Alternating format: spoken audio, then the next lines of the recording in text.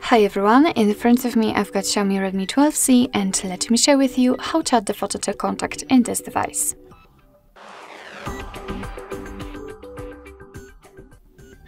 So first of all, let's open your contact list, for, for example by using the dialer.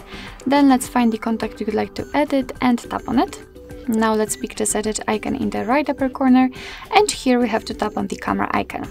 As you can see right now we can either take a photo and then your device will open the camera app.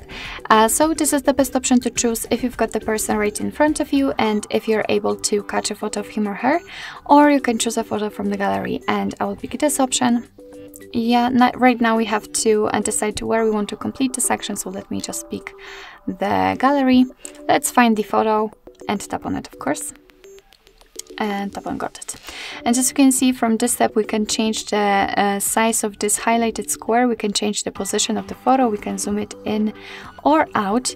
And uh, thanks to this we can decide what we will see after saving the whole contact because basically this uh, highlighted area is responsible for it. Uh, you can rotate the picture right here. It's really up to you and simply tap on done if you're ready.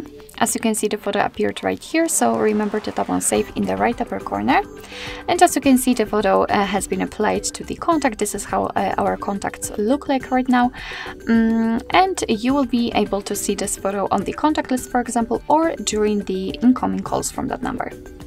So uh, basically that's all. This is how to add the photo to contact in your Xiaomi Redmi 12C. Thank you so much for watching. I hope that this video was helpful and if it was, please hit the subscribe button and leave the thumbs up.